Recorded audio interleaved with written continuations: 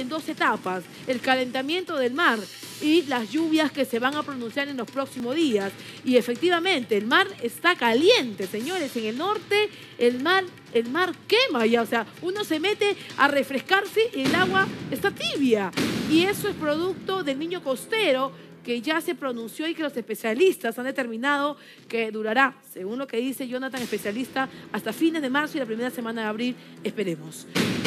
Pero nos vamos ahora hasta Trujillo, señores. ¿Qué?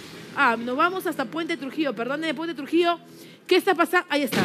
Esa imagen, esa imagen terrible del Puente Trujillo, que miren cómo se encuentra en este momento. Ya habría sido reparada, pero hace unos días estaba de esta manera, así con huequitos, botando agua, lo que sería el muro de contención de concreto que uno piensa que es la mayor y mejor protección que puede tener un río que está prácticamente en el centro de nuestra capital, en el centro de Lima, y que habría sido reparada. No se imagina con qué. Vamos a verlo primero. Ahí está, señor director. Pongamos a la reparación de ese agujero que usted ve que salía el agua del río Rímac y que ya estaba, digamos, haciendo charcos en, todo evitamiento.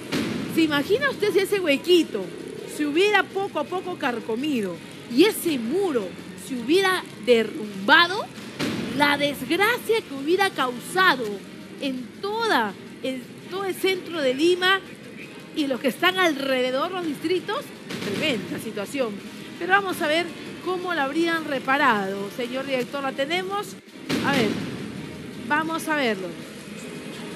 Estamos a la altura del puente Trujillo, en este muro, exactamente que separa el río Rímac con la vía evitamiento, donde la semana pasada hubieron varias filtraciones de agua tras la subida, pues, de las aguas del río Rímac, como podemos ver en las imágenes de cómo se ha venido trabajando y cómo es que han tratado de tapar por donde se estaba suscitando estas filtraciones de agua. Podemos ver una especie de mangueras eh, rellenas con cemento, incluso hacia los lados, y un alambre que cubre todo el borde de la manguera, pero incluso se mencionaba al parecer que serían 11 puntos de filtraciones de agua, pero podemos ver que hay dos, 4, 6, 8, 10, 12, 14 filtraciones de agua donde incluso están estas mangueras que bien lo señalábamos y muy aparte de esto lo que más preocupa es que también hay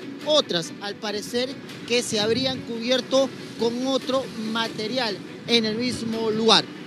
Impresionante, señores, la reparación que se ha ejecutado en esta parte del muro.